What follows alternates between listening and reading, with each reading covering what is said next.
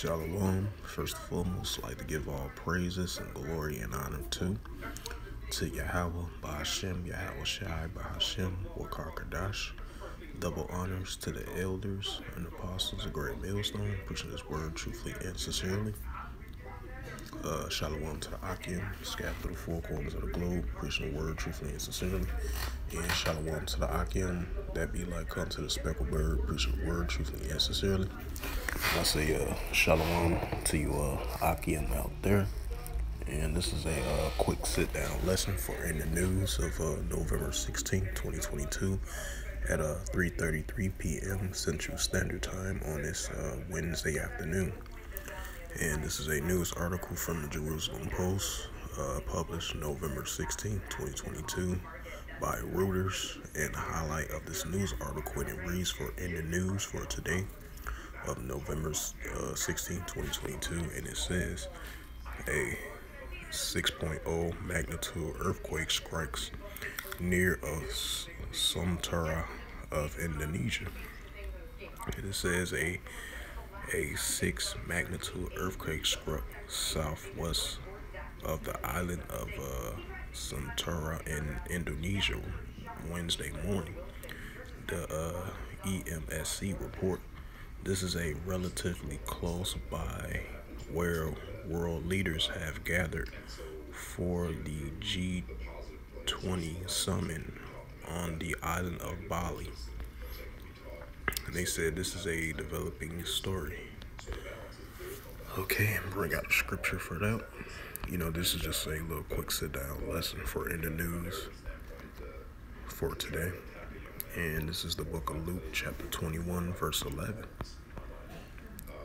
Um, and it reads, And great earthquakes shall be in diverse places, and famines and pestilence and fearful sights, and great signs shall that be from heaven, right? Because you're going to see an increase of the uh, magnitudes of these uh, earthquakes in diverse places.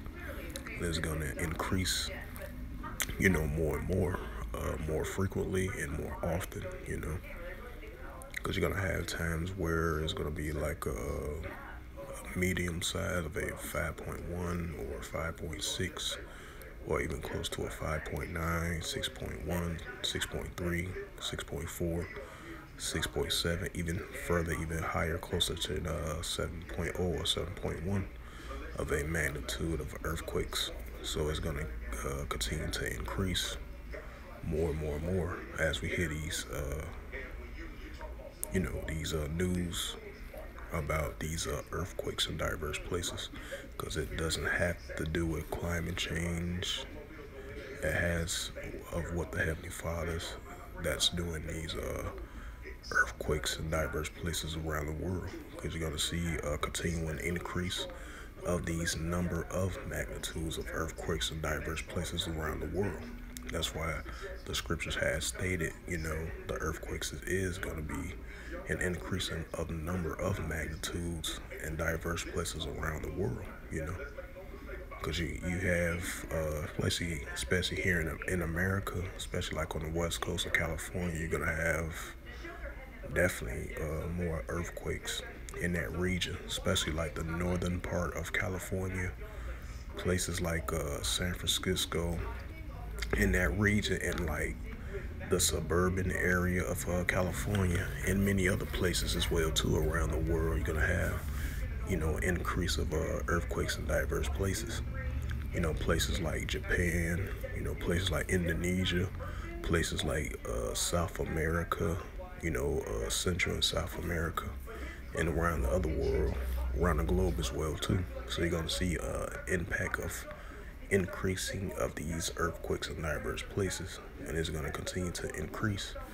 You know, now so more than ever. Uh, so with that, you know, I just want to bring out this little quick uh, sit-down lesson of this uh, earthquake of a magnitude 6.0 of the uh, area in Indonesia.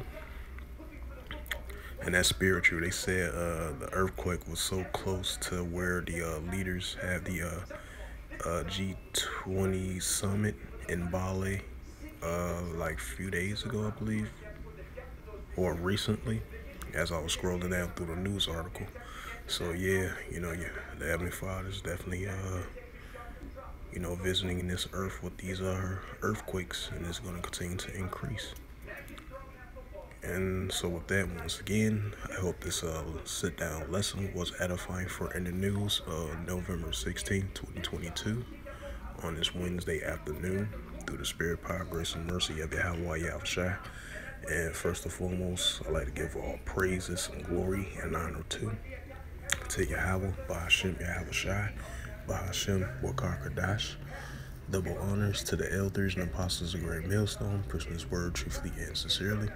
Shalom to the Akim, scattered through the four corners of the globe, preaching the word truthfully and sincerely. And shalom to the Akim, that be like unto the speckled bird, preaching the word truthfully and sincerely. And until next time, I will say shalom and a ball ball.